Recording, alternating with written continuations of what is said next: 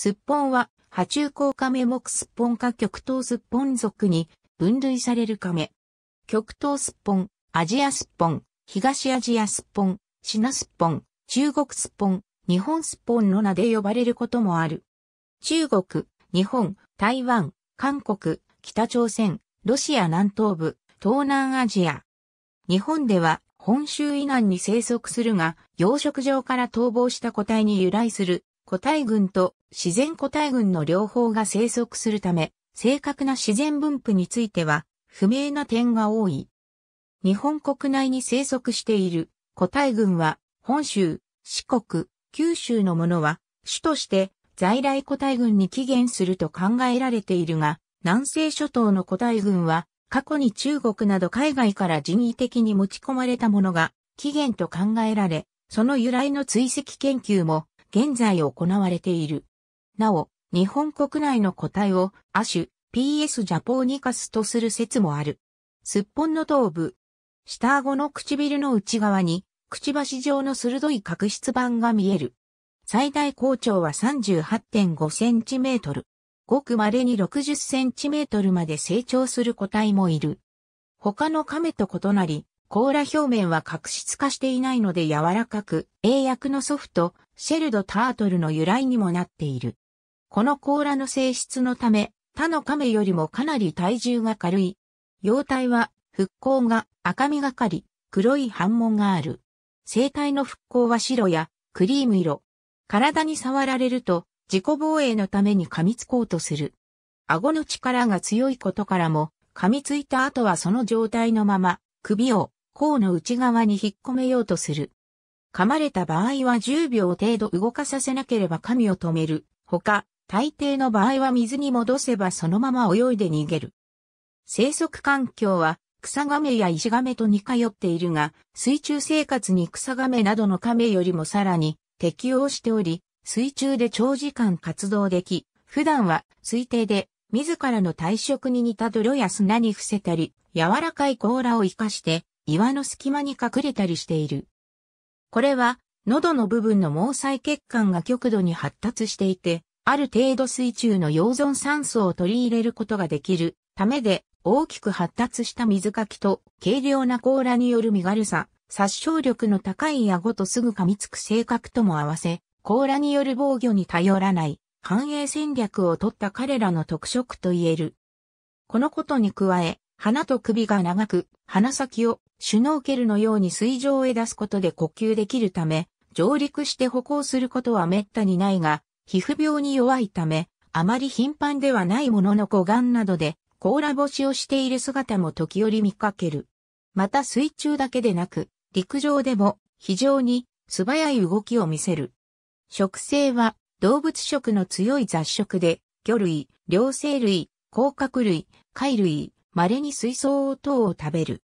繁殖形態は卵性で1回に10から50個の卵を産む。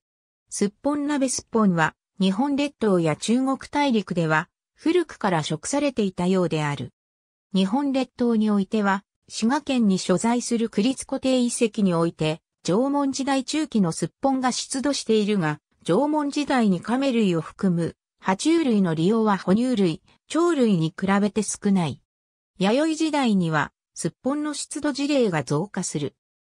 すっぽんは主に西日本の食文化であったが近世には関東地方へもたらされ、東京都葛飾区、青戸の火災場跡から出土した動物遺体には中世末期から近世初頭の多数のすっぽんが含まれている。生地の日本酒割りすっぽんから取れる出汁は美味とされ、日本酒とすっぽんでこしらえたスープや雑炊、吸い物は日本料理の中では高級料理とされる。甲羅や爪、膀胱、胆嚢以外はすべて食べられることが特徴である。すっぽんの形状が丸いため、丸とも呼ばれる。解体することを専門用語では、四つほどきなどとも言う。専門店では食前酒として、すっぽんのカツチを日本酒等のアルコールで割ったものを供す。ワイン等で割った血を供す店もある。全体を乾燥して粉末化した健康食品に用いられることも多い。また、古代中国の書、主来によれば、集大にはすっぽんを調理する、すっぽん人という感触があり、宮廷で古くからすっぽん料理が食されていたようである。現在も暗記料理のポピュラーな食材として用いられている。韓国ではサムゲタンに高級食材を加えた四本タンの食材に用いられることがある。需要競争の食材とされているが、肉には水分が多い。タンパク質、脂質が少なく、カロリーは低い。ビタミン A、ビタミン B1 は多い。日本国内で食用とされるのは、臭みがない天然個体で、養殖個体は餌の匂いが強く臭く感じる。食用の亀の養殖のことを、ヨースポンという。ヨースポンは多くの府県で行われている。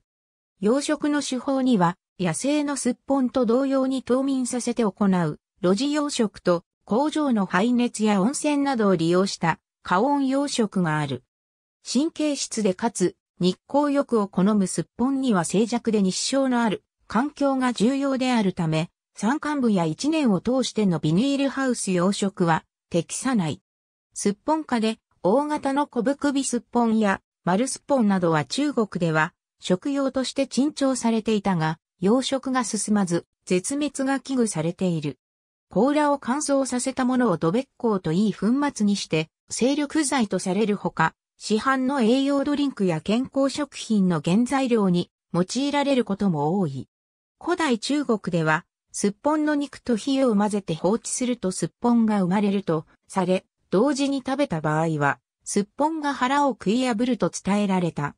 そのために本の養老を正しでも、天皇の食事にすっぽんと火を同時に出したものは罰せられると規定された。北越祈願にあるすっぽんにまつわる階段、亀六泥亀の貝を見て、そうとなるかつて、日本では狐や狸といった動物と同様、土地によっては、すっぽんも妖怪視され、人間の子供をさらったり血を吸ったりすると言われていた。また、食いついて話さないと例えられたことから大変執念、深い性格で、あまりすっぽん料理を食べすぎると幽霊になってたたるとも言われた。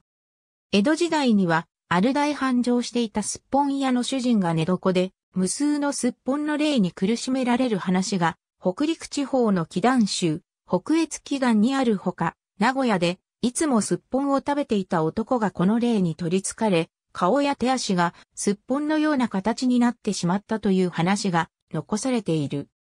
また、古書、階段旅のあけぼのによれば、ある百姓がすっぽんを売って生活していたところ、執念深いすっぽんの音量が、身長十条の妖怪、購入道となって現れ、そればかりかその百姓のもとに生まれた子は、すっぽんのように上唇が尖り、目が丸く鋭く、手足に水かきがあり、ミミズを蒸食したという。